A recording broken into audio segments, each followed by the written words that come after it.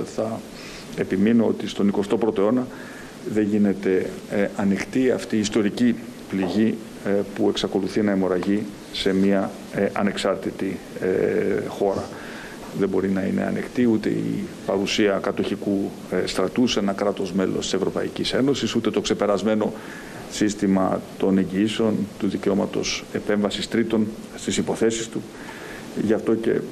αυτομάτως νομίζω, το έχουμε πει πολλές φορές, τίθεται εκτός ατζέντα ε, συζήτησης κάθε διχοτομική σκέψη ε, περί δύο κρατών, είναι κάτι το οποίο θέλω να το τονίσω με, ε, με απόλυτη σαφήνεια εδώ πέρα ε, από την ε, Λευκοσία. Είναι καιρός να ισχύσει σε ολόκληρο το, το νησί το ευρωπαϊκό και εκτιμένο και ο μόνος τρόπος όπως είπες είναι να ξεκινήσουν και πάλι